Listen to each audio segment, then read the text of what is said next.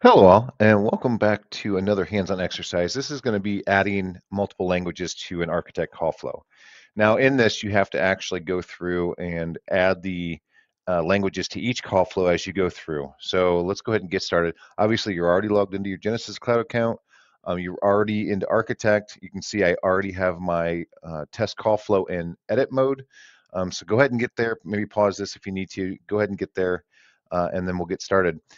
Um, what we'll do, uh, it's pretty easy to do. I'll have that document like we like I always do up on there to be able to uh, follow along. Obviously, the video is going to provide more information uh, than just the just the uh, the document alone. So as we get started, for the first piece right here, we need to add supported languages. So you kind of see under the starting task within the settings, there's supported languages. You go ahead and click on that. English, of course, um, you know, when you first create the call flow, it uh, asks you what language you put it in. English is obviously uh, what, what, I put it in.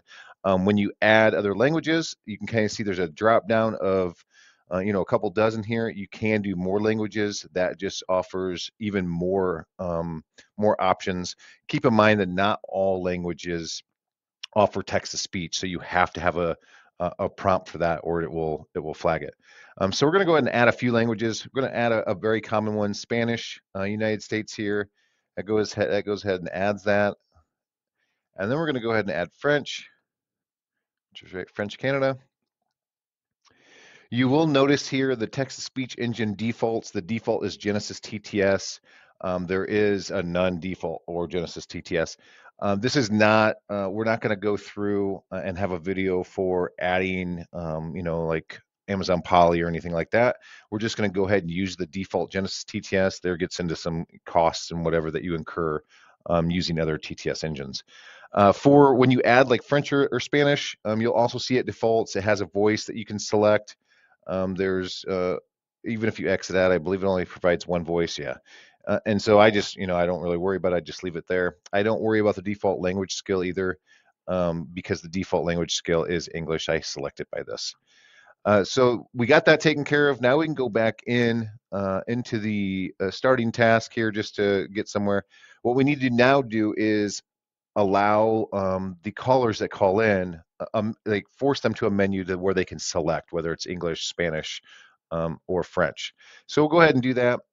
So uh, under the reusable menus, add reusable menu here, toolbox. We're just going to go ahead and add a menu. I'm going to rename it to language menu. That way I know what it is. For the text to speech, not going to really do that, but what I am going to do is add prompt. Go ahead and hit the plus sign because I need to add a new prompt because it's not a, a prompt that's in the system yet. And then I'm just going to do language menu create the prompt. Now you'll see here for missing audio or text to speech, you need to have that. Typically what I do is I'll go out to Google Chrome and so I'll go ahead and add that and do, you know, English to Spanish. And so I'll get that ready. I know for English, press one. And now I just need to do for Spanish in that. Now, granted, if you have a prompt, it's going to be a little bit different. You won't have to worry about it too much, um, but you will still need for at least this, um, you'll need to have uh, in the different languages. So for Spanish, press 2. So I go ahead and copy that and place it there. So let's go ahead and copy, paste. And then for the other one, I have it off screen now, uh, is just going to be for French now. So for French, press 3. And I'm going to go ahead and copy that and press 3. So now I have that. What I'm going to do, you can still see that it has missing audio. So I'm going to go ahead. You will see I need to put all of this in uh, in here as well. So I'll go ahead and do that at a later time. But you will need to do that. So for audio, you're just going to have this recorded for English Press 1. In Spanish, you'll play that for Press 2. And then for French, you'll actually do that to play for Press, for press 3. Uh, and then so now you see the prompt there. So we have the prompt located you can kind of see there's a default menu choice. We need to we need to have that. So in order to do that, we need to add some tasks.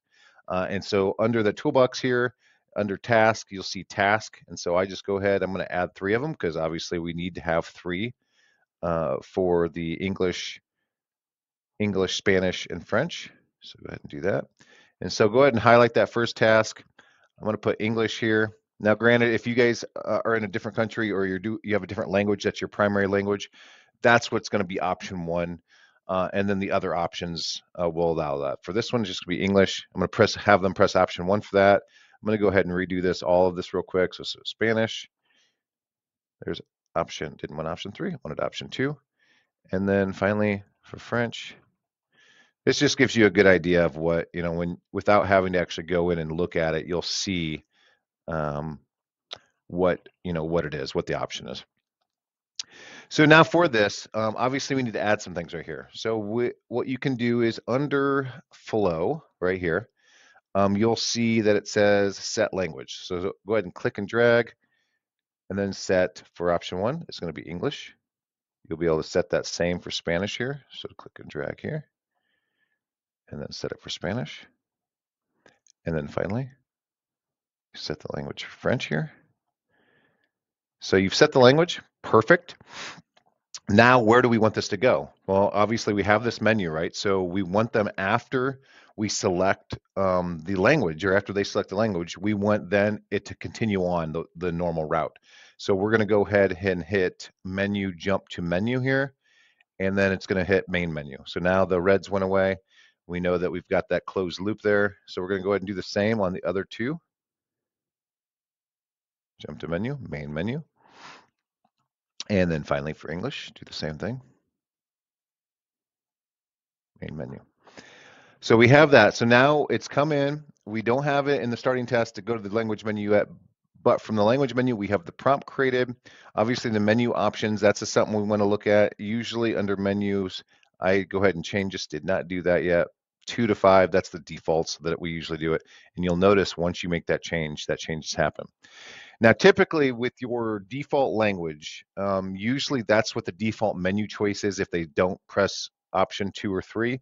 Um, so in this in this section here, you can kind of see English. Obviously, if French is your main one, or Spanish, or whichever language that you guys um, are your default in the country you're in. Um, default it to that because obviously we don't want it to. If your default is English, we don't want to default for to Spanish or French. So we've got the language menu taken care of. We've got that it's routing to the main menu after it's done. There's really just one thing we have to complete uh, to just close the loop on being able to get it transferred there. And that's in that starting task. Go to where, so let me go ahead and uh, maximize that a little bit. Go to where you're transferring to the main menu in that starting task and simply just highlight it. And now you're going to be able to change this from main menu to language menu. So it's going to come in, it's going to do um, whatever checks it's going to do. It's going to now transfer to the language menu and then play them um, the, the language offer. They'll be able to select it and then it will transfer to the main menu uh, and they'll be able to continue on. So always keep that in mind. Um, make sure that you do a lot of testing on that. So the next thing is you kind of look at the validate. It's already checked. You don't need to hit validate. Um, but you can hit publish. Obviously, it does a validation before it publishes, and then you'll be able to go ahead and start your test. Um, start your test, make sure that the language is working. Obviously, any prompts that you need to get uploaded uh, for the additional prompt, you know, for the additional languages, make sure you do that. Uh, because, for example, I have this menu prompt here. This is only playing text to speech. This is only playing in English. Um, I would need to go through and um, create a prompt like we did with the language menu and then add the different prompts um, for the for English, French, and Spanish. I hope that helped on how uh, to create those languages and kind of make that uh, make that menu and then how to route that through from the menu to the from the language menu to the main menu. Um, if you guys have any questions, obviously reach out. Um, I'm always available. I try I try to get all questions as fast as I can. Other than that, I look forward to seeing you guys on the next uh, next video. Thanks.